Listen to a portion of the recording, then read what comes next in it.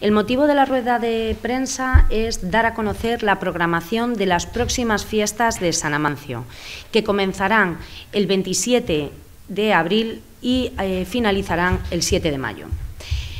Con la presentación de, estas fiestas eh, dan comienzo una de las grandes fiestas populares de los barrios de Torrelavega, grandes en cuanto a dimensión y número de asistentes, porque esperamos que, como cada año, el barrio Covadonga reciba a cientos e incluso miles de personas, vecinos del barrio de otras partes de nuestra ciudad, de otras localidades y puntos de la provincia, y se convierta en el mejor escaparate de nuestra ciudad.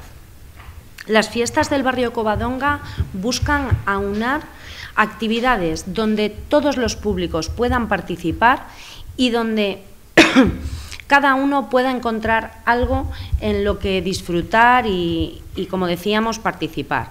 Estará presente, como no, la tradición con la presencia del grupo de danzas Covadonga y también la, la ya tradicional Feria de Artesanos. En un modelo similar al de ediciones anteriores, volverá a estar presente el mercado medieval y también actividades orientadas a los más pequeños. Se busca también fomentar hábitos de vida saludable y el deporte, y se celebrará este año la tercera edición de la Katangan Race, pero también habrá un especial Día de la Bicicleta, buscando que la gente eh, empiece a, a asociar la, bicicleta como medio de transporte para moverse por la ciudad. Y, cómo no, estará presente la música. La música con presencia de bandas locales como A Duras Penas o Miguel Junco, pero también de discotecas como perdón, mm, orquestas, verbenas y DJs, como pueden ser eh, la orquesta Casting que amenizará los fines de semana del barrio. Son unas fiestas en las que también se busca la participación, no solo de forma individual, sino fomentar el asociacionismo, especialmente entre los más jóvenes, y se consolida la jornada dedicada a las peñas. En este pequeño resumen de actividades, como podéis ver, eh, son diversos los actos orientados a diferentes públicos y también buscan em, este año dar visibilidad a una entidad eh, que es conocida, admirada y respetada por todos en nuestra ciudad, como es el SOAM, que serán los encargados del pregón de San Amancio 2018. Poco más que añadir porque me acompañan Óscar Herruzo, Alberto Gómez y Pilar Pérez como miembros de la Comisión de Fiestas de San Amancio, más que eh, invitar a todo el mundo que quiera visitarnos, a los vecinos de nuestra ciudad a que salgan a las calles y a todo aquel que quiera pasar un buen día en el barrio Covadonga en las próximas fiestas de San Amancio 2018. Quiero empezar esta rueda de prensa en nombre de la Asociación Cultural y Deportiva San Amancio, agradeciendo al Ayuntamiento de Torrelavega y en especial a Patricia y Jesús como concejales de festejos y deportes. Su total colaboración para que otro año más puedan desarrollarse las fiestas en el barrio Covadonga. También queremos dar las gracias a todos los comercios que colaboran publicitándose en nuestro programa de fiestas. Ahora, sin más, os daré unas breves explicaciones informando sobre las actividades que habrá este año. Las fiestas comienzan, como ya ha dicho Patricia, el 27 de abril y finalizan el 7 de mayo. Se desarrollarán 79 actos muy variados con un presupuesto aproximado a los 30.000 euros. Hemos realizado un programa en el que hay actividades para niños y para los mayores, para discapacitados, actividades deportivas y lúdicas, de las cuales os resumo las más importantes. Comenzamos el 27 de abril con el pregón a cargo del Servicio de Orientación y Ayuda al Menor. Un grupo de niños y monitores pertenecientes a esta asociación nos darán con toda su ilusión el pregón y chupinazo de las fiestas de San Amancio 2018. Este mismo día disfrutaremos del concierto del grupo del barrio Coadonga a duras penas y seguido la disco verbena. El 28 de abril, 1 de mayo, del 28 de abril al 1 de mayo tendremos en la Avenida de Besaya el ya famoso Mercado Medieval.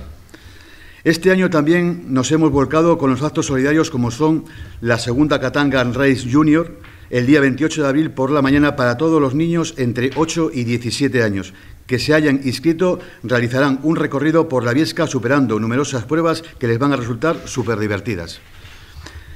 La tercera Katangan Race, debido al éxito de los dos últimos años, este año volvemos con la tercera edición. ¿Qué nos encontraremos este año? Pues muchas sorpresas, nuevas pruebas, en definitiva, mucho esfuerzo, a la vez que mucha diversión se volverá a realizar por el Parque de la Viesca.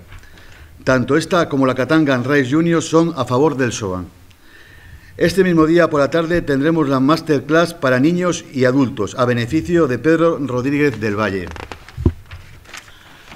Otro de los actos solidarios con el que contamos en el, Mercadillo Solidario de Manualidades a favor de Izara, que se desarrollará el sábado 5 de mayo y domingo 6 de mayo en la Avenida del Besaya. Para los más pequeños habrá además la Katangan Race ya mencionada, talleres infantiles, cabezudos, disco fiesta, globoflesia, juegos, pintacaras, chocolatada. Y como gran novedad y por primera vez en el barrio Covadonga, el 6 de mayo recibiremos la visita de la patrulla canina, al completo, que nos harán disfrutar con sus bailes. Al final de su actuación, los niños podrán sacarse una foto con ellos. El domingo 29 de abril habrá una exhibición de baile latino a cargo de Esencia Latina Cantabria. Podremos disfrutar con los mejores bailarines de esta modalidad en nuestra comarca.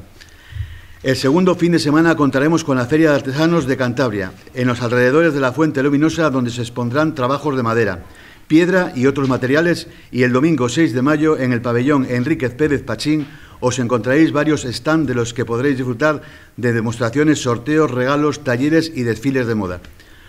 Otro año más contaremos en la fiesta del barrio Covadonga con los concursos para las peñas. Este año habrá casi 400 personas agrupadas en diferentes peñas y el día 5 de mayo tendrán su especial en el que comerán, beberán, disfrutarán de diversas actividades de manera gratuita y exclusiva para ellos.